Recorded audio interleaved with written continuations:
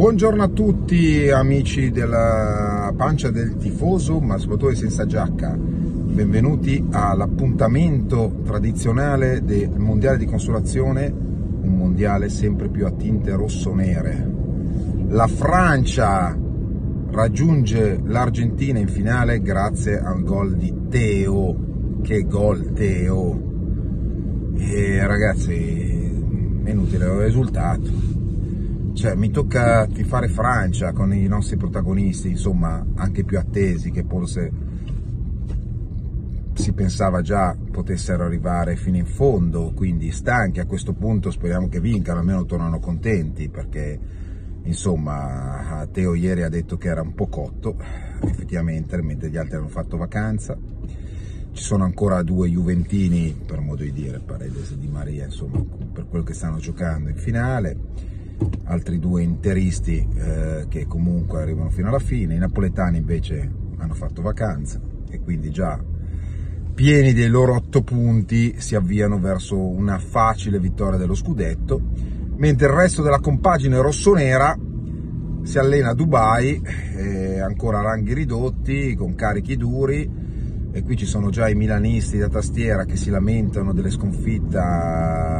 nelle amichevoli, ma che se ne frega, l'importante è recuperare gli infortunati, Megnano è ancora tornato ad allenarsi,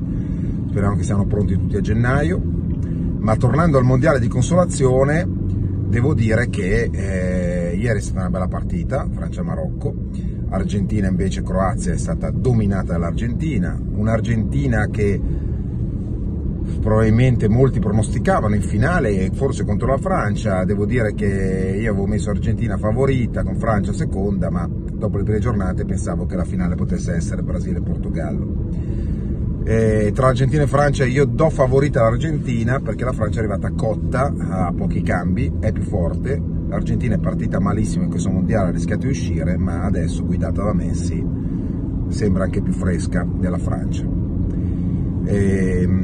cosa dire, Teo dopo il gol di ieri eh, in difesa si è prodigato, però insomma con Hakim e Ziyech ha sofferto parecchio, un grande Marocco. Infatti poteva starci il rigore fatto da Teo che ogni tanto entra scomposto veramente eh, in, su Bufal e il Marocco ha dimostrato di avere anche un gioco d'attacco, dei giocatori sconosciuti che dimostrano di essere forti, cosa vuol dire l'attaccamento alla maglia, stanchi, eh, stanchi morti, però hanno dato tutto l'anima e hanno anche dei bei piedi, molti giocatori. Quindi lode al Marocco e questo fa capire che si possono trovare delle sorprese anche nel calciomercato di giocatori non così reclamizzati che possono dare molto, molto alla, alla squadra eh, e quando svesti la maglia della nazionale dai sempre di più. La nostra Italia vedremo cosa farà in futuro. Intanto godiamoci questi ultimi giorni del mondiale, questi giorni di riposo e ci avviamo verso la finale di domenica e poi si penserà solo al campionato.